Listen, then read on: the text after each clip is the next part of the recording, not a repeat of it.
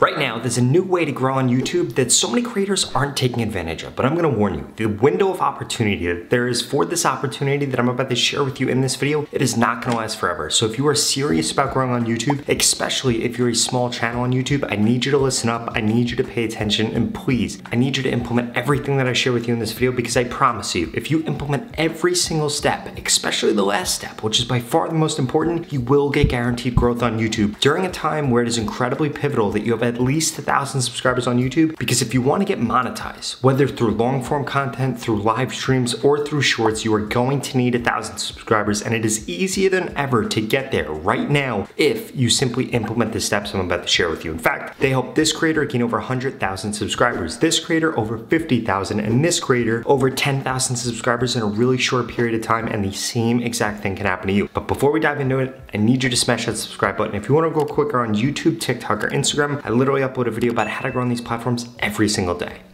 First and foremost, I need you to be focused on shorts. Way too many small creators right now are not focused on shorts and literally the person that manages the algorithm at YouTube, well not manages the whole algorithm, but he is the license between normal creators and the YouTube algorithm. Guess what he's saying? He's been saying that the number one way for small creators on YouTube to grow is to focus on search first because essentially how the YouTube algorithm works, they're gonna look at watch history of your viewers and then what they're gonna do is recommend your content out if it fits into their watch history. But since since you might not have a lot of viewers right now, you definitely don't have a lot of subscribers, you need to be going after search because it's by far the easiest thing and it's the first thing that they're gonna be testing out your content in. But if you do the wrong thing with the subtitles you put in your videos, your titles, and another area that I'm going to share with you later on in this video, you will never be able to rank for search. Right now, all you need to know, you need 20 to 30 search terms. I don't care what kind of content you create. I don't care if it's fitness, I don't care if it's comedy, I don't care if it's art, I don't care if it's crypto. If you create content on YouTube, YouTube, you need to know what people are searching for in order to find that type of content. It could even be fishing content or camping content. It doesn't matter. So I need to make sure that you have at least 20 to 30 search terms, high volume search terms, and know what you're gonna do. You need to actually go through and do a search on YouTube for those things. And I want you to make note of two things.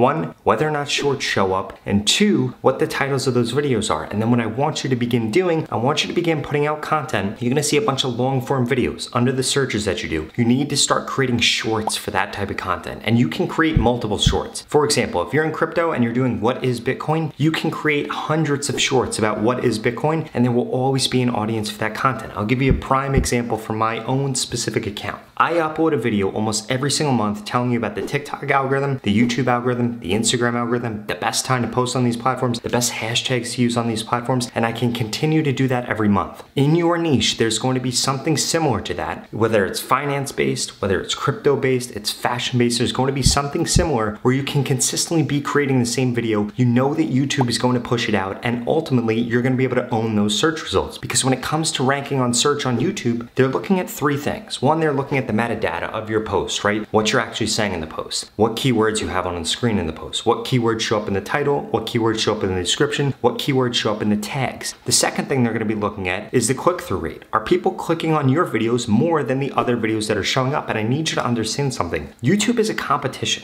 If you create content in any niche, everybody else in your niche, they are your competition. Now, I'm not saying you need to be cutthroat with them. You could have competition and be buddy-buddy with them and actually get more results and both of you guys will be able to grow. And I need you to understand that. You do not want to kill your competitors on YouTube. You just want to make better content than them. And you should be fine if you see a competitor that makes better content than you. You want to know why? Because they're not stealing views from you. In fact, I've basically proven this with my own account. If you look at other YouTube channels that talk about how to grow on YouTube, all of us get around the same amount of views. You want to know why? Because people like you, watchers of this type of content, the audience for this content, you guys watch all of us. You guys watch multiple channels. So do not think that somebody else, because they're getting more views, is stealing views away from you. That is not how this works works. If you create valuable content, you create valuable content for your audience, you will get views despite whether or not your competitors get views. And when your competitors get views, it's actually good because it increases that watch history. Again, which is why you need to make sure that you are targeting search keywords because people are searching for those. There's a watch history for those. And this is the easiest way for your videos to start to get recommended, which by the way, is when you really start to go viral on YouTube.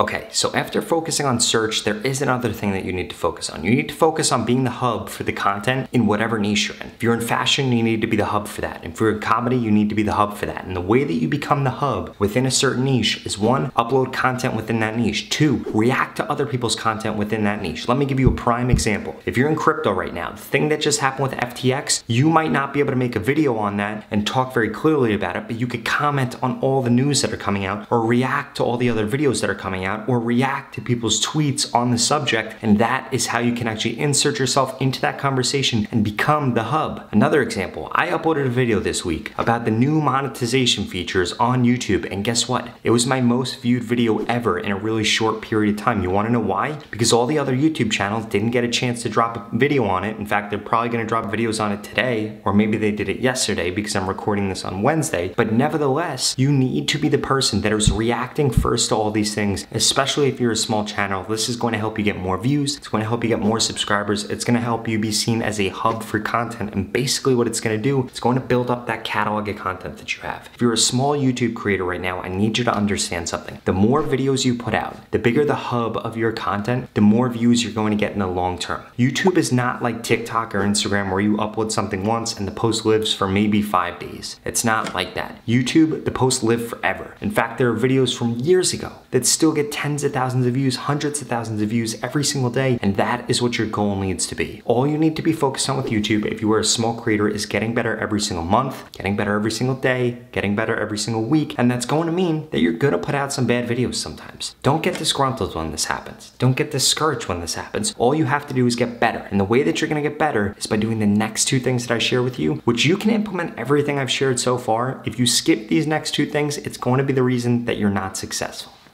But before we dive into those, we need to thank today's video sponsor, dailycontentideas.com. If you go to the link in the pinned comment below, you can find out what is trending in your niche, be it on YouTube, be it on Instagram, be it on TikTok. It's really simple. You sign up and it's essentially a personalized newsletter where you get sent what is trending within your niche every day, Monday to Friday. So if you're in the fashion niche, you'll get fashion trends for TikTok, Instagram, and YouTube, and it's incredibly simple. You can get started today for just a single dollar, and then it's $10 a week, which by the way is incredibly cheap. do you guys spend more money than that at Starbucks every single day? And this is actually an investment. It's gonna help you make better content, it's gonna help you stay on trend, and it's gonna help you get more inspiration. Again, go to the link in the pinned comment below to get started right now for just $1. So the two other things that I need you to focus on are your analytics. You need to be only looking at three analytics. That's it. Only three things. One, the number of returning viewers that you get. Two, the number of end screen clicks that you get. And three, your click through rate and your watch time. For shorts, you need your watch time as close to 100% as possible. For a click-through rate, you should be aiming for 20 to 25%. The way that you make these two things better is by adding better titles editing your videos better, and making sure that your thumbnail is of the best part of the video. If you're doing a video where an alligator reads something, it should be the alligator's mouth wide open, not just a picture of a swamp where you can't see anything. Whatever the main point of your video is, whatever the main thing is, that's what needs to be showing in your thumbnail. It should also be in your title because you're teasing the person, making them curious, and that's what's going to increase your click-through rate. Now, when it comes to end screens and when it comes to returning viewers, what you need to do, you need to be looking at your analytics and you need to be linking out to videos that are similar to that video and it works even better if you add in a two to three second script at the end of the video. It says, hey, if you like this video, you need to watch this video. But then what works even better than that is if you create a new problem for the viewer. For example, if I was going to put an end screen at the end of this video, I would say something along the lines of, and this all works if you post at the right time on YouTube. If you wanna know what time to post, click this video right here. Now, obviously I'm not in the video right now and I'm not putting that as an end screen, but you get the gist of that. I know what the audience wants. I tease it by telling them that they need to do one more thing if they click on that video and that is how you get a really high end screen percentage, which basically, if you get 100,000 views and 20% of people click the end screen, guess what? You're gonna get an extra 20,000 views. Now you have 120,000 views, which is a 20% increase. And what YouTube's gonna say is, wow, this person's getting a lot more views. We should push out their content even more. And ultimately, you end up getting even more views, you end up getting even more impressions, and your content begins to rank higher because YouTube then just sees that when they push out your content, not only are you getting one view, but you're getting two views on your channel, or maybe three views. You're keeping people on YouTube, you're keeping people seeing ads, you're making YouTube more money. So of course, they're going to push out your content more often. Now, if you're still struggling to grow on YouTube and you wanna get guaranteed growth right now on YouTube, well then you need to keep watching this video because I've got something special for you. Finally, I just launched my YouTube Shorts mentorship program, which guarantees that I can help you grow on YouTube in just 30 days. If you want to find out more, go to the link in the description. But to put it simply, you're going to go through six steps to becoming a YouTube Shorts expert. Then I'm going to make you a personalized plan. I'm going to tell you exactly what to post, what titles to use, what thumbnails to use, what descriptions to use, what tags to use, what your content should actually look like, how your editing should be, and so much more. And then for the next 30 days, I'm going to critique your content to guarantee that you grow. It's incredibly simple. If you don't grow on YouTube in the 30 days, I'm going to give you your money back, zero questions asked. This is not just a course. This is not just information. It's me actually telling you exactly what to do, critiquing you, consulting, me coaching you on how to be a full-time YouTuber, how to grow on YouTube, how to reach your goals on YouTube. And again, if you don't grow on YouTube in the 30 days, you get your money back, zero questions asked. There's absolutely no risk for signing up. The only risk is not taking advantage of this situation right now with YouTube Shorts and growing on YouTube. So please do not be somebody that does that. That being said, if you're not interested, just watch the next two videos I'm gonna put up on the screen because they're the videos that YouTube thinks you should watch next. Thank you so much for watching.